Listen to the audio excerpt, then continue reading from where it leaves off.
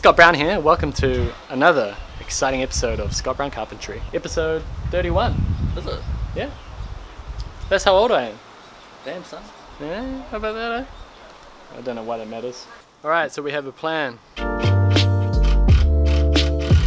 Basically, the plan is to create a box in the corner and then put a post inside it. This one right here.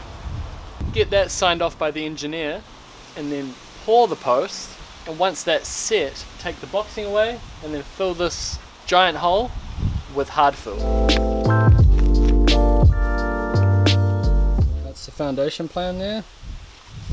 It goes that way. Mate. And just walk away. It's snug.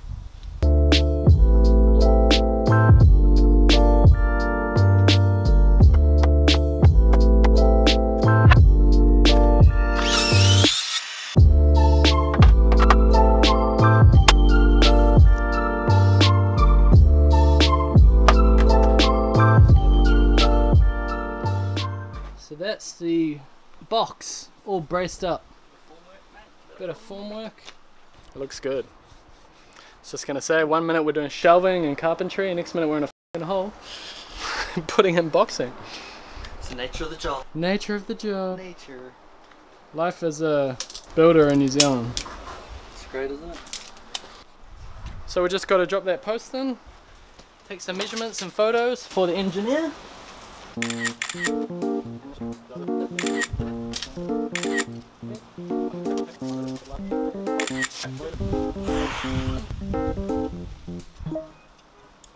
Alright, email from the engineer.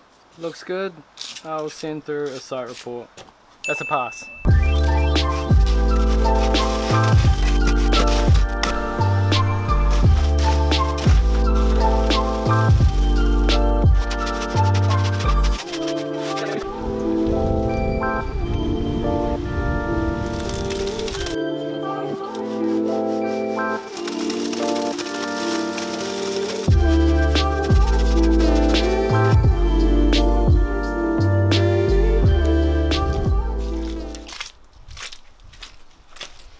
How you feeling, bro? Feel alright. You did all the work, man. Look at that. She's a monster. 15 40 kilo bags on one post. So it's been about a week and a half and we've got one post in. Yeah. So, and now we need to wait 36 hours for this boxing to until we can m- remove the boxing. And then we can fill the big hole up.